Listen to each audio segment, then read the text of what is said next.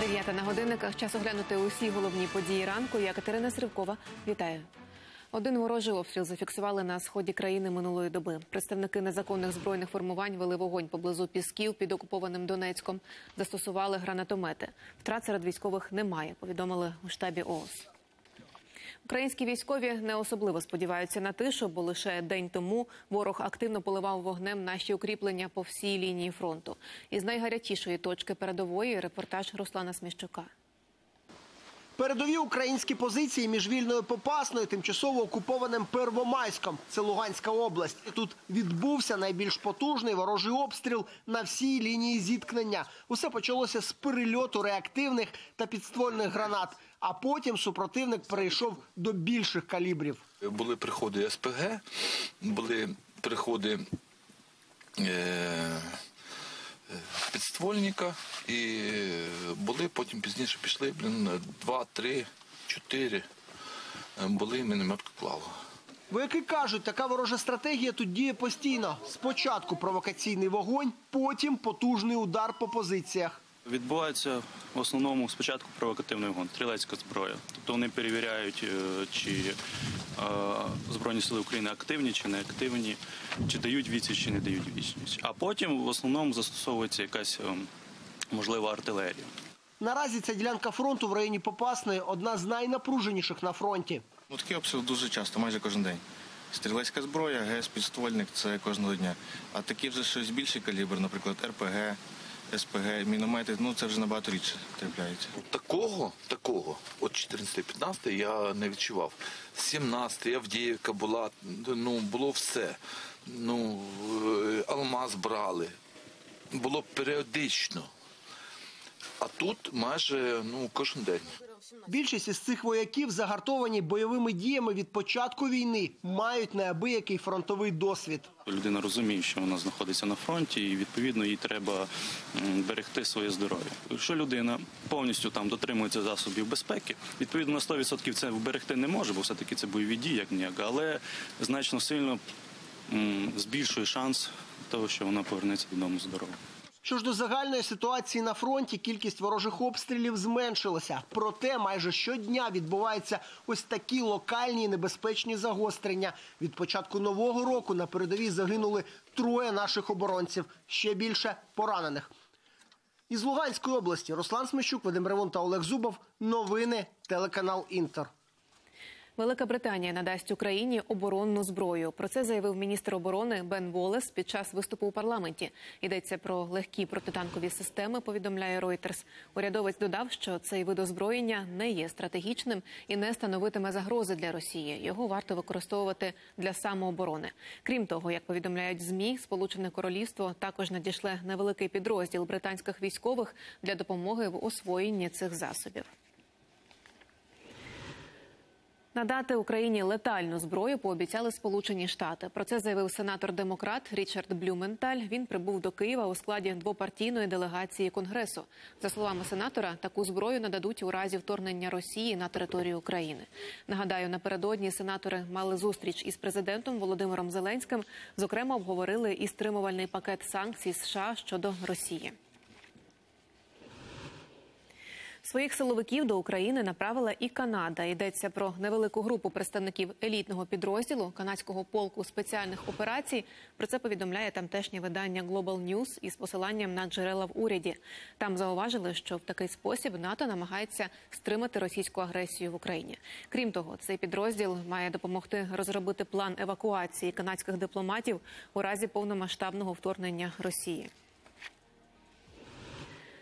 США і надалі не виключають від'єднання Росії від системи платежів SWIFT у разі нового вторгнення до України. Про це повідомило агентство Reuters із посиланням на джерело у Білому домі. Раніше німецьке видання Handelsblatt поширило інформацію, буцімто Захід не збирається використовувати економічні важелі, аби примусити Кремль до деескалації на Донбасі. Утім, такої інформації на запит Reuters у Берліні не підтвердили. 350 населених пунктів знеструмлено в Україні через негоду. Такі дані ДСНС на ранок. Через пориви вітру найбільше постраждала Київщина. Без електрики майже сотня населених пунктів. Складні погодні умови спричинили знеструмлення на Житомирщині та Тернопільщині. Також на багатьох автошляхах через перемети ускладнено рух. Водіїв закликають бути вкрай обережними під час поїздок. 8558 нових випадків ковіду зафіксували в Україні минулої доби.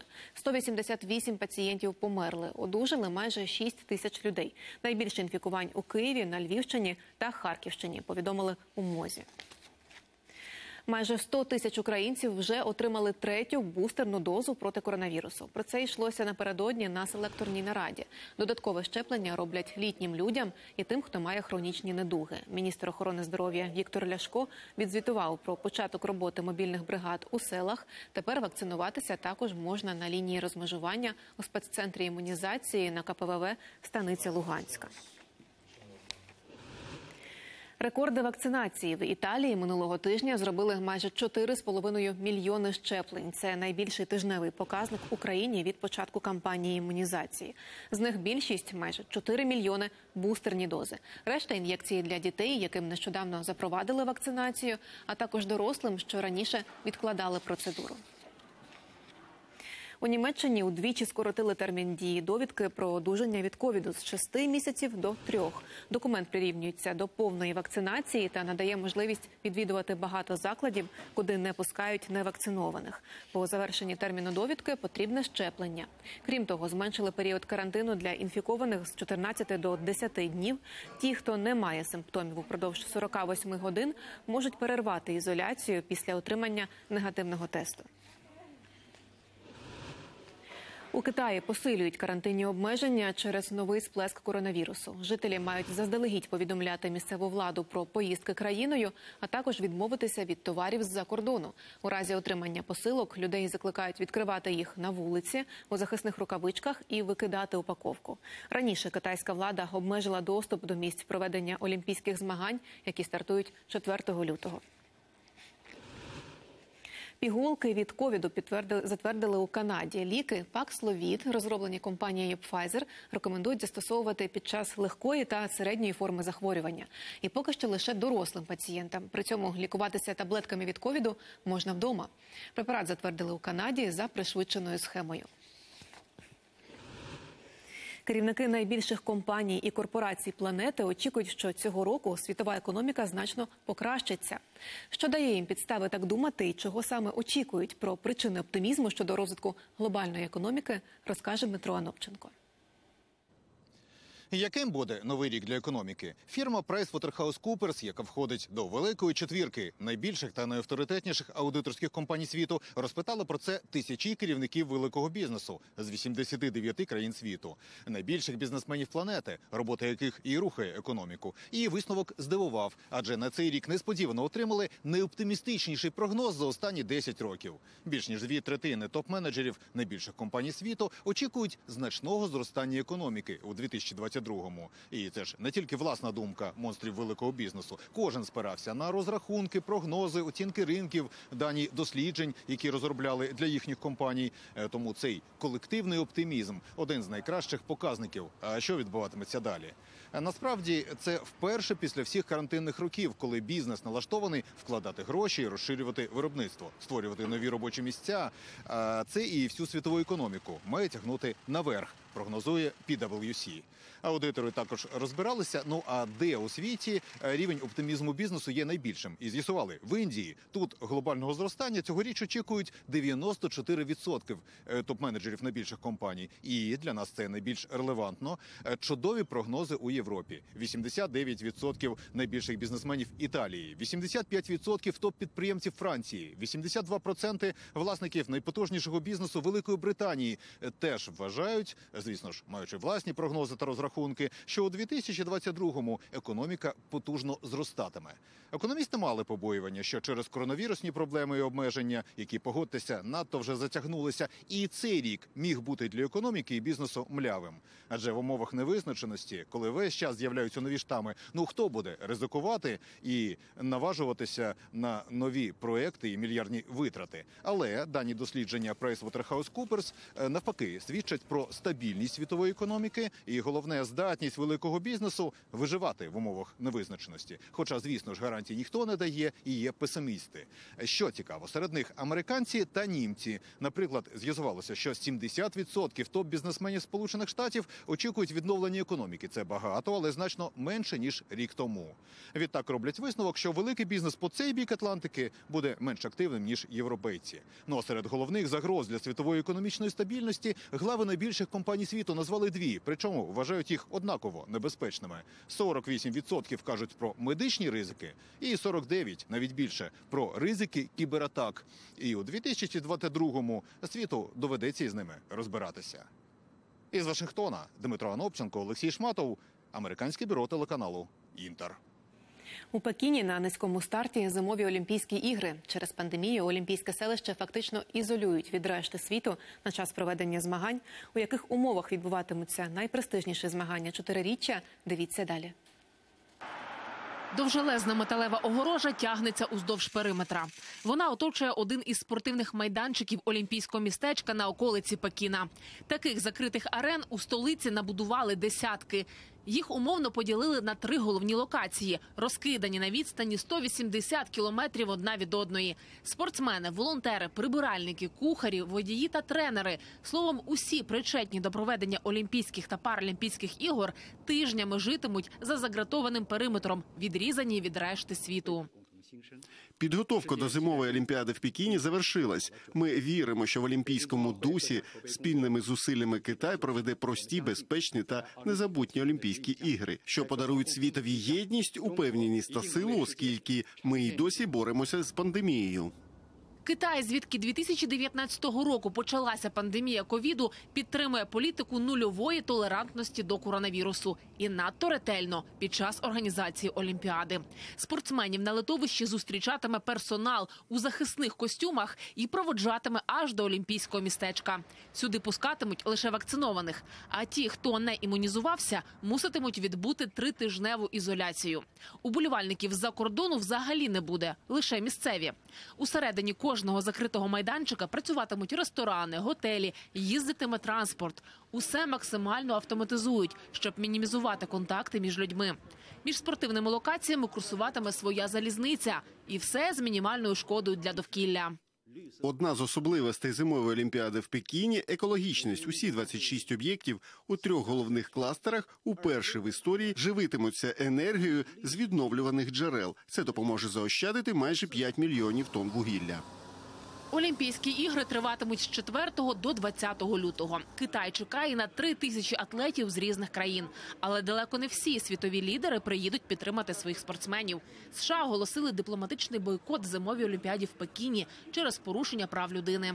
Приклад Вашингтона наслідували Японія та Австралія. Ірина Іванова, новини телеканал Інтер. Польського футболіста Роберта Левандовського визнали найкращим гравцем світу 2021 року. Церемонія відбулася у Цюриху у штаб-квартирі ФІФА. Престижну нагороду отримав і португальський футболіст Криштіану Роналду. Він став найкращим бомбардиром в історії у матчах за національні команди. Найкращим тренером року визнали німецького фахівця Томаса Тухеля. Він тренує лондонський Челсі.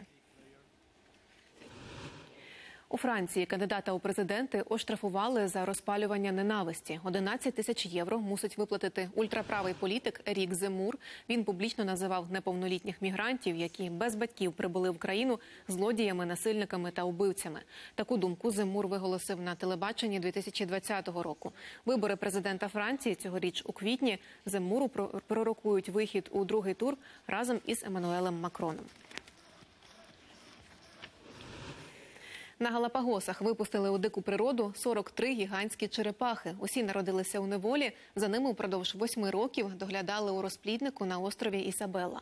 Кожна рептилія попередньо відбула карантин із обмеженням у доступі до їжі та води, щоб пристосуватися до суворих умов дикої природи. Тварин вертольотом доправили в нове місце проживання поблизу вулкана С'єра Негра, де мешкають чотири популяції гігантських черепах. На Хмельниччині сотні білих красенів оселилися на водоймі, яку навіть у люті морози не сковує крига. Лебедині сім'ї вже встигли стати справжніми зірками для туристів.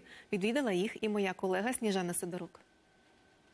Раніше на зимівлі вони літали за тисячі кілометрів. Тепер їм затишно і вдома. Щороку на Хмельниччину злітаються сотні лебедів з усієї України. Птахи облюбували тутешнє водосховище. Білі красені поважно плавають у воді та зовсім не бояться людей. Навіть більше самі ж підпливають, коли бачать когось на березі. Тому їх годують просто з рук. Світлана з сім'єю привезла птахам пшениці. Поки донька годує, мама фотографує, каже, світлини з лебедями просто неймовірні. Это же, ну, необыкновенно. Таких мало где, я думаю, озерка, где зимуют именно лебеди. Такого нигде больше не увидишь. Цю красу жінка вирішила показати й майбутньому зятю, який приїхав в Україну на свята із Польщі.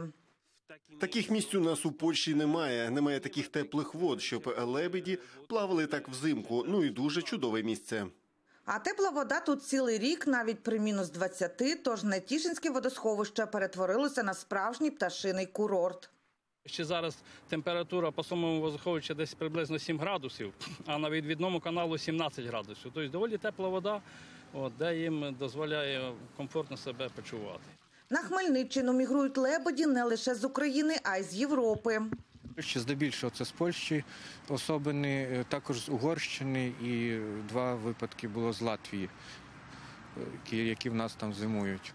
Влітку лебедів тут майже не буває, кажуть працівники атомної станції. Сюди птахи злітаються лише коли на дворі тріщить мороз. Всі ці е, заводі, які в нас тут по окрузі знаходяться по лісах, скрізь починають перемерзати. Вони, звичайно, всі іммігрують до нас сюди на водосховище. Більше 200 штук лебедів тут збирається. Крім лебедів, тут можна побачити ще з десяток видів рідкісних пернатих. Усіх орнітологи радять годувати не хлібом, а зерном. Та найкраща їжа для цих птахів – та, що водиться у воді.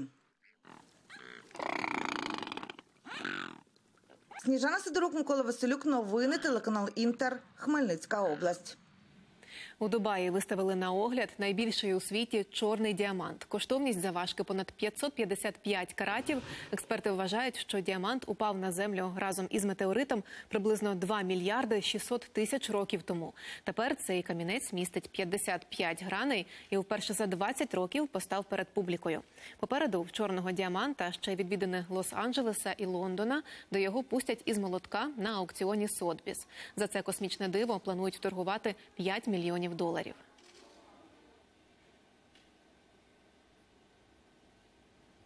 І на цьому ми завершуємо. Більше новин дізнаєтеся у випуску опівдні. А я чекатиму на вас завтра зранку. Гарного вам настрою на весь день.